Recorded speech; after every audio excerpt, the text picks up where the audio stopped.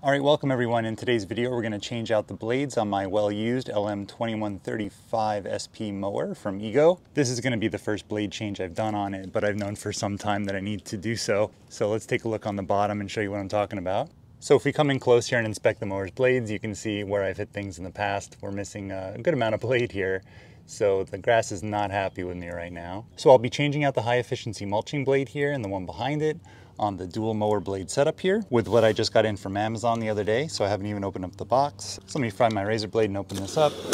Do a quick unboxing, see what's inside.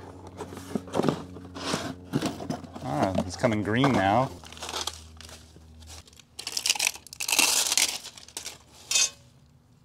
So this is the blade that goes in the back. And this is the front mulching blade here. As you can see, it's labeled so that you know which side faces the grass. This particular blade is the high efficiency one. And there's one with like three serrations on the edges. That is for high efficiency mulching. So comparing the old one versus the new, obviously this comes in green and uh, that's very important for the underside of your mower.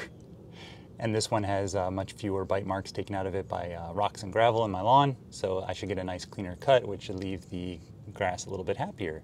So let's get to changing out these blades. So first you're gonna need a screwdriver and you need to locate this hole which might be covered in grass like it was in my case in your situation and stick something long like a screwdriver in it. And that's gonna keep the blades from turning as we go ahead and try and get these nuts off of the, uh, the blades here. And what I found is that I needed a 9 16 bit to fit that center nut. And for the outside, a 17 millimeter should work all right.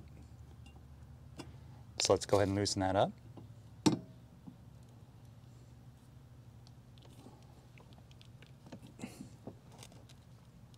On there really good.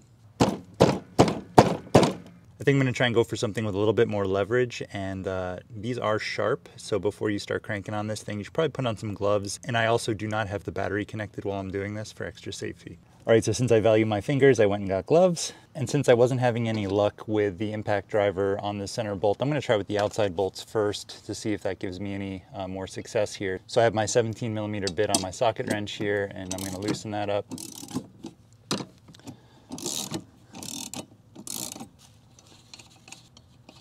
And you're definitely going to want to save these nuts because the new kits do not include them because they're assuming that you're retaining the old ones. Now for the other mower blade nut, let's take that one off. Give this one more shot with the impact driver now that this is off.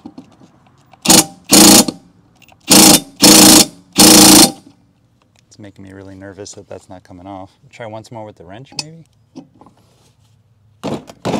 Try and really get on it here.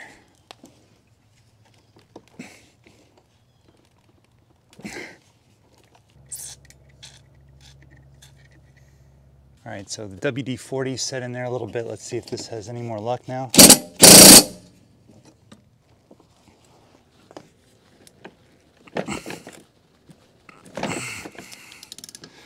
Man, that was on there good.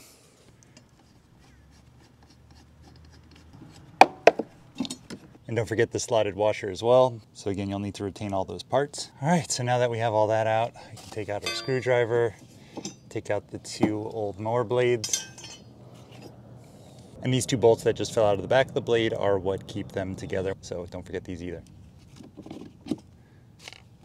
Just gonna take the opportunity to just clean things up a little bit. Now everything's exposed.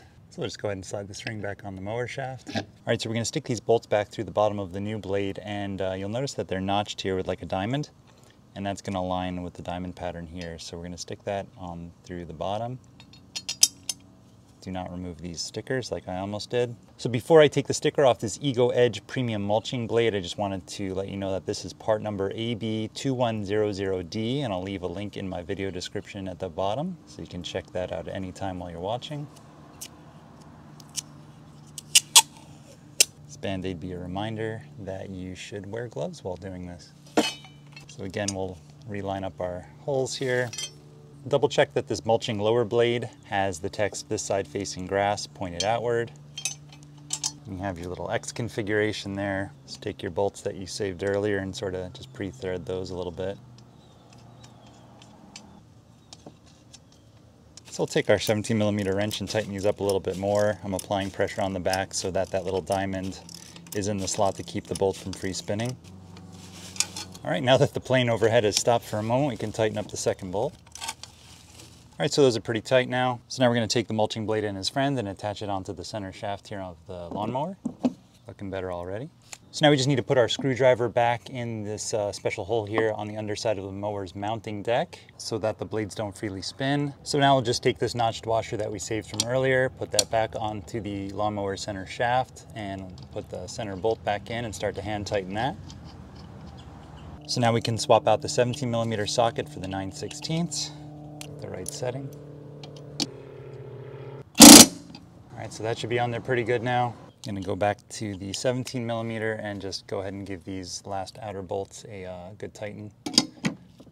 Again, wear gloves. All right, so that should work. Let's give this a test now. All right, battery back in.